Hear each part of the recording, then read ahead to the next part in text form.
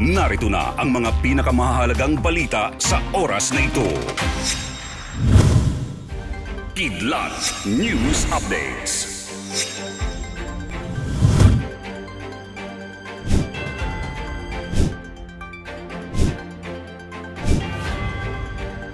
Ako po si Cesar Soriano, kasama ang buong puwersa ng Kidlat News Channel para ihatid ang nangungunang mga balita sa buong kapuluan ngayon.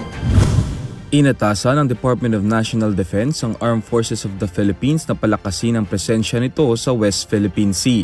Ginawa ng DND ang kautusan sa gitna ng ulat ng muling panghihimasok ng Chinese vessel sa naturang karagatan at alegasyon ng panibagong reclamation sa Spratly Islands.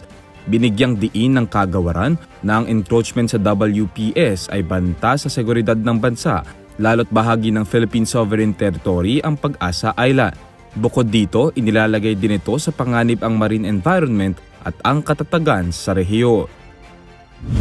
Binigyan ng Land Transportation Franchising and Regulatory Board o LTFRB ng special permits ang karagdagang provincial buses ngayong holiday season. Ito ay para matugunan ang inaasahang pagdagsa pa ng mga pasaherong uuwi ng probinsya ngayong Pasko.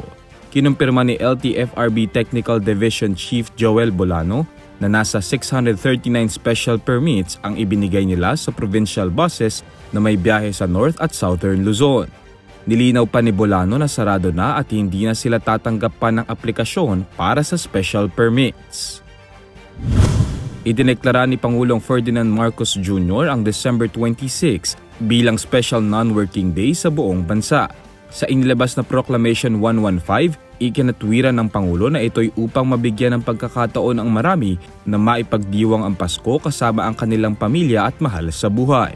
Nakasaad pa sa deklarasyon na magbibigay ito ng pagkakataon para sa lahat para maging matibay ang relasyon para sa isang productive environment at mapapalakas ang turismo sa bansa.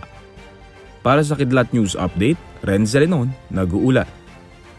At inyo pong natungayan ang mga headlines sa nakalipas na mga oras. Manatiling nakatutok para sa mga susunod na updates at breaking news. Ako po si Cesar Soriano, kasama nyo sa bawat pagputo ng balita. Thank you.